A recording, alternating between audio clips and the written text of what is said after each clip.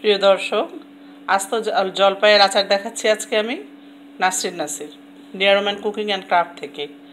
এটি বানাতে রোদে শুকানোর ঝামেলা নাই, ঝটফট করে ফেলা যায় এই আচারটি। রেসিপিটি পছন্দ হলে অবশ্যই আচারটি বানিয়ে ফেলবেন। জলপাই, আস্ত জলপাইয়ের আচারের জন্য আমি জলপাইগুলো এইভাবে কেটে নিয়েছি আগে ধুয়ে নিয়ে তারপরে কেটে এক ঘণ্টা খোলা বাতাসে রেখে দিয়েছি। এরকম ফাঁকা ফাঁকা হয়ে গেছে। এখন আমি রান্না শুরু করব। খুব ঝটফট হয়ে যাবে আচারটি। কড়াই গরম করে আস্ত পাঁচ ফোড়ন দিয়েছি।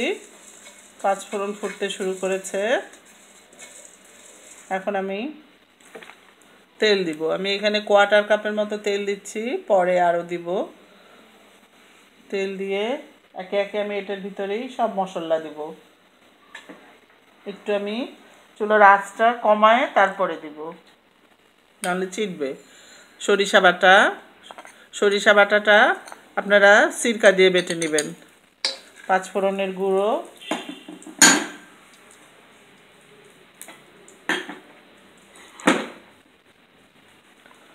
গুঁড়া মরিচ যেরকম ঝাল খান, এক চামচ হলুদ, লবণ এক চা চামচ। একটু সিরকা দিয়ে সিরকা দিয়ে মাখা, নড়াই দিচ্ছি।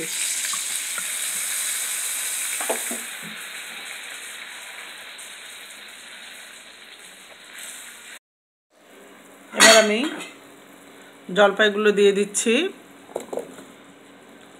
জলপাইগুলোর একটু কালার চেঞ্জ হলে আমি চিনি দিব।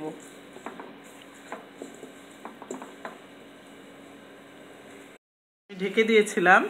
এখন ঢাকনাটা তুলে নেড়ে দিচ্ছি। অল্প আছে, এরকম ধীরে ধীরে করে আমরা জলপাইটা সিদ্ধ করব। এখন আমি চিনি দিব। মশলাগুলো মাখা মাখা হয়েছে। চিনি দিচ্ছি আমি এক কাপ পরিমাণ। চিনি দিয়ে দিচ্ছি। চিনি দিয়ে এখন অল্প আছে, প্রায় বিশ মিনিট ধরে এটাকে আমি কুক করব। আমি মাঝে মাঝে নাড়বো আর আপনাদের দেখাবো।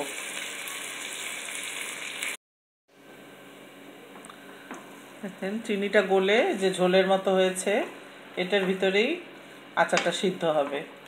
অল্প আছে ধীরে ধীরে সিদ্ধ করব আমি।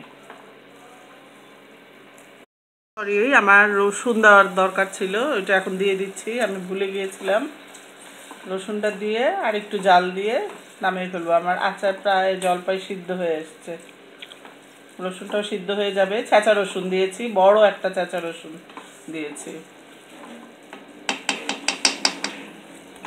বিশ মিনিট প্রায় হয়ে গেছে।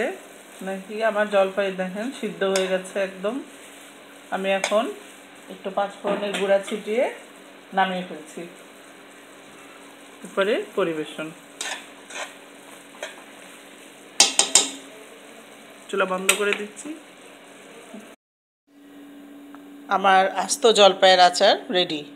এখন এটি ঠান্ডা হলে আমি বয়মে ভরে রাখব। রেসিপিটি পছন্দ হলে কাইন্ডলি আমার চ্যানেলটি সাবস্ক্রাইব করবেন ফ্রেন্ড অ্যান্ড ফ্যামিলির সাথে শেয়ার করবেন। আর আচারটিতে অবশ্য আচারটিতে অবশ্যই বানাবেন। ধন্যবাদ।